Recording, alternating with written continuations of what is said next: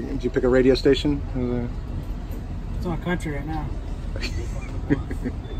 we have some exciting news to deliver. Uh, after two years of initial funding and planning, we finally took delivery of our Lenco Bearcat yesterday. Uh, what you see behind me is uh, the, the, product of funding from Homeland Security as well as Measure Z funding. And uh, this cost $298,000. And so it is a vital piece of equipment um, and that we are very, very proud that it's here because what this is designed to do is save lives. Um, you know, it's kind of like the fire department has their fire engine. This is our equivalent. This is designed to go into situations and to de-escalate situations.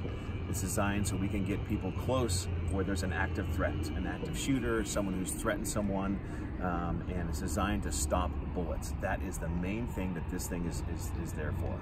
It's ballistic armored all around, 360 degrees. The, the, the windows are two and a half inch thick glass that is designed to stop uh, all rifle rounds. And uh, so this is a game changer for our county because uh, we've been working and focusing on de-escalation. We've been working on um, ways to um, uh, bring in mental health and our crisis negotiating teams closest to the scene to de-escalate situations. And this is our way of doing that.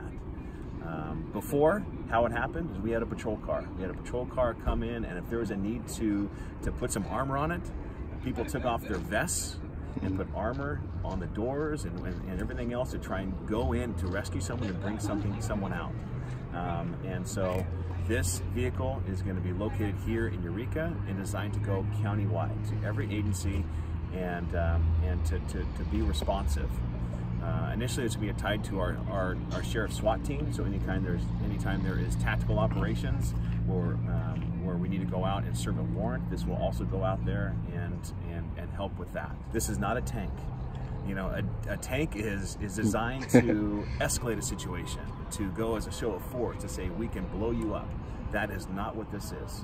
This is designed to de-escalate. This is designed to to, uh, to bring peaceful resolution to uh, to a situation.